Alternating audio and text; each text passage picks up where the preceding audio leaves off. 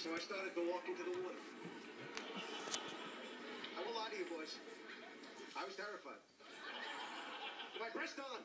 And as I made my way past the breakers, a strange calm came over me. I, I don't know if it was divine intervention or the kinship of all living things, but I tell you, Jerry, at that moment, I was a marine biologist. George, I just been reading this thing in the paper. It's unbelievable. I know, I was just telling the story. Well, come on, George. Finish the story. The sea was angry that day, my friends. Like an old man trying to send back soup in a deli.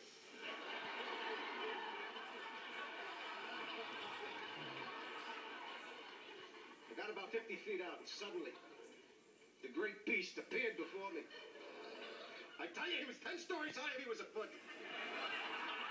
As if sensing my presence, he let out a great. I said, Easy, big fella.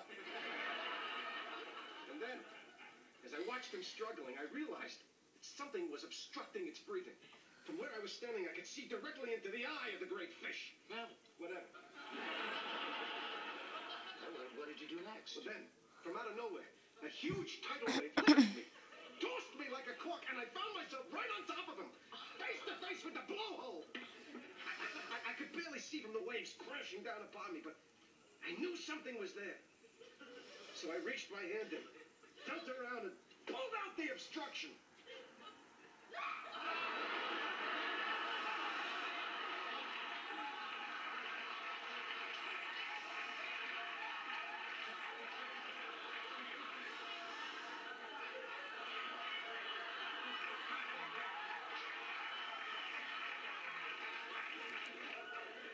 What is that, a Titleist?